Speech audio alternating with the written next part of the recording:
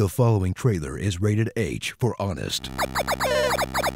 From the people that love to put Disney characters in fetish gear comes yet another half step in a franchise dragging its feet as hard as it possibly can before its third full entry Kingdom Hearts 2.8. Really? 2.8? This is just getting excessive. Return to the endlessly interactive world of Kingdom Hearts and experience the feeling of being shafted all over again as Square slaps together a bunch of underperforming handheld games and HD remasters and sells them to you again at the price of a full game. Because they know that you're so thirsty for anything Kingdom Hearts that you'll end up buying it anyway. Experience the world salad that is the final chapter prequel, as Square frantically attempts to make all the Kingdom Hearts games make sense together. By pasting a 40 minute cutscene alongside an HD remix of a 3DS game from 2012 and a glorified demo of the new game's engine, and hoping it will tide you over a little longer until they finally cancel Kingdom Hearts 3. I mean, come on, stop messing around and give us 3 already. I've had blue balls for an entire decade. Dive into the most mediocre of the three experiences Point 8 has to offer. Back Cover, a cinematic prelude to the Keyblade Wars, an awesome sounding conflict that you don't even get to see, and that seems to exist for the sole purpose of reminding you that they have a mobile game. Then check out Dream Drop Distance, an adorably titled 3DS game that puts you through the same familiar formula, except does what all games do when they run out of ideas by adding parkour or turning it into Pokemon. In this case, both. Then crack open the final and actual new video game portion of 2.8 Kingdom Hearts, a fragmentary passage, and marvel at how amazing everything looks with the new KH3 engine, with stunning environments, smooth cinematic combat, and things constantly exploding into fireworks, then reel in horror as you realize it's only two hours long. But uh, look, you can make your character into a robot catgirl ninja. That justifies my purchase, right?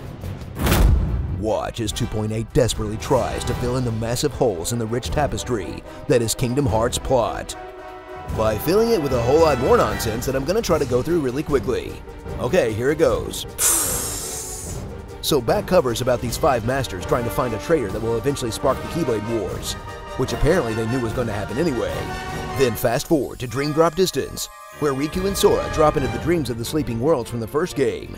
Then confront a time-traveling Xehanort, which is apparently a thing now, as he tries to steal Sora and turn him into one of the 13 clones of darkness. And we learn Xehanort's master plan of trying to form the Keyblade with an X by abducting the hearts of the seven princesses of light with his 13 clones of darkness that can only be defeated by the seven Keyblade wielders.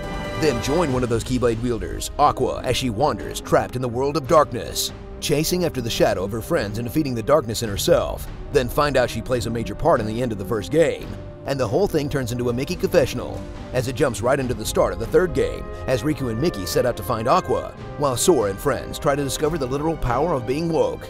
Look, the plot is just way too sophisticated for you to understand, okay? It's actually really good.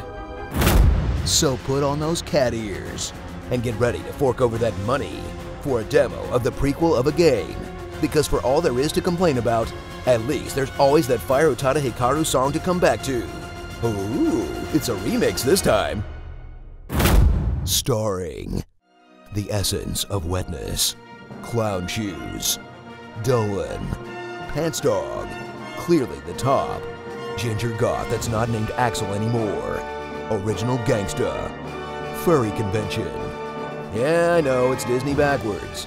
And Xehanort and Xehanort and Xehanort and Xehanort and Xehanort and Xehanort. Cash for Hearts 2.8. You know, this is only funny until we end up getting 2.95 Final Final Mix. Boy got to eat. He got to have his supper. Let's get down to brass tacks. How much for the ape? Captain Planet, he's a hero. Gonna take pollution down to zero. I don't think you realize just who you're dealing with. You exist because we allow it, and you will end because we demand it.